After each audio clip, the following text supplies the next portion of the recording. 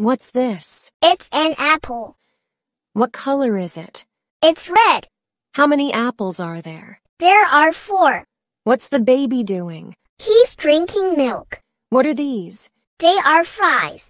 Do you eat fries? Yes, I do. I love eating fries. They're so yummy and crispy. Do you like them too? What do you eat for dinner? For dinner, I have yummy food like noodles or rice with meat and vegetables.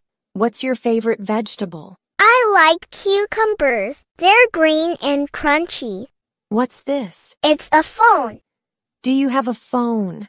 No, I don't. I don't have a phone because I'm a little kid, but my parents have phone. What do you do with your parents' phone?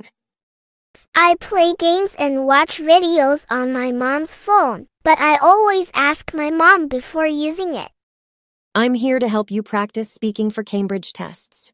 Subscribe and follow so we can help you score well in Cambridge exams.